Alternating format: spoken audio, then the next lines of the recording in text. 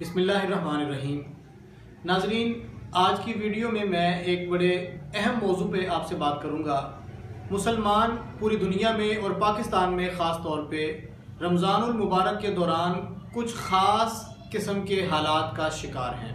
پاکستانی مسلمانوں کی بات کی جائے تو ہمیں ماہ رمضان المبارک میں جہاں دیگر نیکیاں کرنے کا نیک اعمال اور صالحات کی طرف توجہ کرنے کا بھرپور موقع ملتا ہے، وہیں پہ ہمارے ملک میں کچھ لوگوں کو مال بنانے کا بھی موقع ملتا ہے۔ پاکستان کی خاص طور پہ بات میں اس لیے کر رہا ہوں کہ اس سال ماہ رمضان المبارک کے آغاز کے ساتھ ہی ہمیں کچھ مخصوص حالات کا سامنا رہا۔ اور پاکستان میں ایک مذہبی تنظیم کا ایک خاص موضوع پر جسے نبی اکرم صلی اللہ علیہ وسلم کے ناموس اور آپ کی عزت اور آپ کی توقیر کے حوالے سے بڑا اہم گردانا جاتا ہے، اس حوالے سے اس جماعت نے لاہور میں ایک بڑا مرکزی دھرنا دیا اور پورے ملک میں ان کے مظاہرے جاری رہے۔ خیر، یہ ایک الگ موضوع ہے، میں اس پہ ڈیٹیل ویڈیو دے چکا ہوں۔ جب یہ دھرنا اور مذاکرات اپنے انجام کو اور اپنے اختتام کو پہنچنے والے تھے، این اس سے ایک دن قبل پاکستان میں ایک بڑی مذہبی شخصیت نے پورے ملک میں پیا جام ہڑتال کی کال دی اور شٹر ڈاؤن ہڑتال کی کال بھی دی۔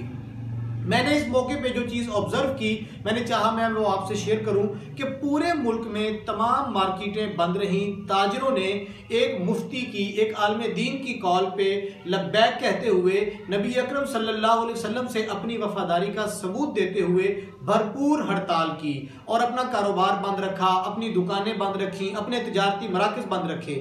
تو اس ساری صورتحال کو دیکھ کر جو چیز مجھے سمجھ آئی اور جو سب سے پہلے دماغ میں چیز کلک ہوئی کہ اگر مومن مسلمان نبی پاک صلی اللہ علیہ وسلم کے عاشق پاکستانی مسلمان اپنے آقا کے ناموز کی خاطر اور ان کے عشق اور ان کی ورفتگی میں ایک دن کے لیے اپنا مکمل کاروبار بند کر سکتے ہیں، تو یہ تاجر، یہ دکاندار یہ دکانیں چلانے والے، مارکیٹوں میں کاروبار کرنے والے لوگ اپنے آقا کی کہی ہوئی بات پر بھی ضرور یقین کریں گے اور اس پر عمل بھی کریں گے۔ وہ کیا بات ہے؟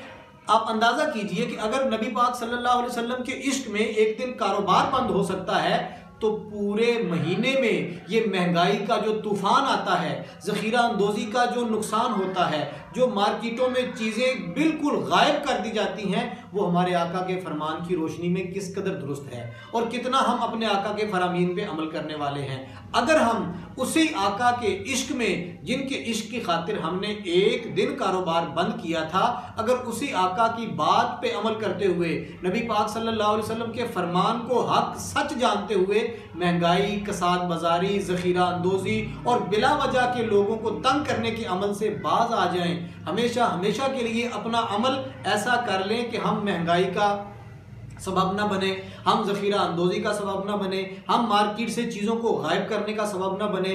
ہمارے سامنے ہمارے مسلمان بہن بھائی ہاتھوں میں روپے لیے قطاروں میں کھڑے ہیں اور انہیں کھانے پینے کی اشیاء نہیں مل رہی۔ اور اگر مل رہی ہیں تو اس قدر مہنگی مل رہی ہیں کہ کچھ لوگوں کی تو قوت خرید سے ہی باہر چلی جاتی ہیں۔ یہ ساری صورتحال اس چیز کی غمازی کرتی ہے کہ ہمارے ہاں کمی نہیں ہے۔ ہمارے ہاں وفاداری میں کمی نہیں ہے، ہمارے ہاں عمل اور عمل پر پورا اترنے میں کمی نہیں ہے۔ لیکن بعض جگہ پہ نشاندہی کرنی چاہیے کہ جو لوگ اس ساری صورتحال کے ذمہ دار ہیں، وہ بھی تو مسلمان ہیں، وہ بھی ہمارے بہن بھائی ہیں۔ ہو سکتا ہے انہیں اس پہلو کے حوالے سے کسی نے بتایا ہی نہ ہو۔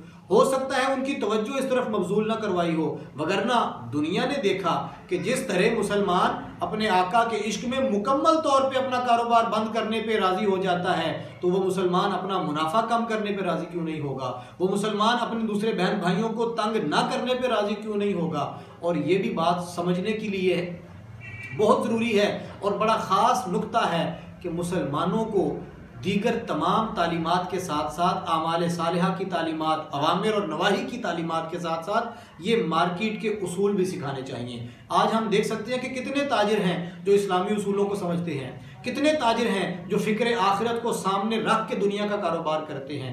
کتنے تاجر ایسے ہیں جو کاروبار اور رزق تو دنیا میں اس حال کی گھڑی کا کما رہے ہوتے ہیں، لیکن ان کی نگاہ اور ان کی نظر آخرت کے دن پہ ہوتی ہے۔ کتنے تاجر ایسے ہیں جو درد دل کے ساتھ رزق کماتے ہیں اور کاروبار کرتے ہیں۔ یہ سارے موضوع اور سارے پہلو اگر ہم اپنے سامنے رکھیں اور ہمارے علماء، ہمارے واعظین، ہماری مساجد سے، ہمارے محراب و ممبر سے یہ یہ واز کی جائے، یہ خطبات دیے جائیں اور لوگوں کو ایسا لٹریچر فراہم کیا جائے تو میں سمجھتا ہوں کہ کوئی اس میں ایسی چیز آڑے نہیں آ سکتی کہ مسلمان اپنے آقا کے بتائے ہوئے طریقے پہ عمل نہ کریں، فرامین پہ عمل نہ کریں۔ اور یہ ماہ رمضان جو نیکیوں کی بہار ہے، جو اعمال صالحہ کرنے کا ایک بڑا انمول مہینہ ہوتا ہے، جس میں اللہ تبارک و تعالیٰ کی رحمتیں اپنے جوبن پہ ہوتی ہیں، بندہ اپنی جھولی پھیلائے ہوئے ہوتا ہے۔ رزق کی فراوانی ویسے ہی اس مہینے میں ہوتی ہے۔ اگر ہم تھوڑا سا اپنے اعمال کو، اپنے طریقہ کار کو تبدیل کر لیں اور میں دوبارہ سے وہ بات دہراؤں گا کہ مہنگائی مہنگائی باقی نہیں رہے گی۔ کساد بازاری کساد بازاری نہیں رہے گی۔ ذخیرہ اندوزی ذخیرہ اندوزی نہیں رہے گی۔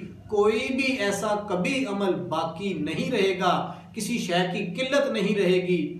اگر ہم یہ چیز سمجھ لیں کہ جن آقا کے لیے ہم نے ایک دن کا کاروبار مکمل بند کیا تھا، ہم پورا مہینہ انہی کے فرمان پہ عمل کرتے ہوئے اپنے بھائیوں کے لیے آسانی پیدا کریں، اپنے ہم وطنوں کے لیے آسانی پیدا کریں۔ لوگ سہر و افطار میں ہمیں دعائیں دیں گے۔ پاکستانی لوگ، دنیا میں بسنے والے مسلمان اس سارے منظر نامے سے جب وہ تبدیلی ابھرتی دیکھیں گے، تو ان کے دلوں سے وہ دعائیں اٹھیں گی کہ کاروبار کرنے والوں کے کاروبار خود بخود ترقی کرتے رہیں گے۔ میں یہاں پہ وہ مثالیں آپ کو نہیں دوں گا کہ دیگر اقوام کیا کرتی ہیں، یورپ میں کیا ہوتا ہے، امریکہ میں کیا ہوتا ہے۔ یہ ساری چیزیں ہم جانتے ہیں اور ہم نے سن رکھی ہیں کہ جو لوگ اپنی اقوام کے ساتھ اپنے خصوصی ایام اور اپنے خوشی کے ایام میں جو ایک طرز عمل اپناتے ہیں، مسلمان اس میں کس قدر آگے ہیں؟ میں آپ کو یہ بات بھی یہاں پہ بطور خاص بتانا چاہتا ہوں کہ چیریٹی میں، اپنے بھائیوں کا خیال رکھنے میں مسلم امہ کا کوئی ثانی نہیں ہے۔ تاریخ کا کوئی بھی واقعہ ہو، پاکستانی مسلمانوں نے اپنے اس کردار کو ہمیشہ ہمیشہ سب سے نمایاں رکھا ہے کہ ہم اپنے دوسرے بہن بھائیوں کا خیال رکھتے ہیں۔ نہ جانے کیوں ماہ رمضان میں ہم یہ مہنگائی کی آفت کا شکار ہو جاتے ہیں، چیزوں کی قلت کا شکار ہو جاتے ہیں۔ میں سمجھتا ہوں یہ صرف عدم توجہی ہے اور بے پرواہی ہے۔ یہ بے پرواہی ہماری اس وقت تک جب تک ہم اپنے آقا کے بتائے ہوئے طریقے پر مکمل طور پہ نہیں چلتے، اس وقت تک ہمیں آسودگی اور فائدہ نہیں دے سکتے۔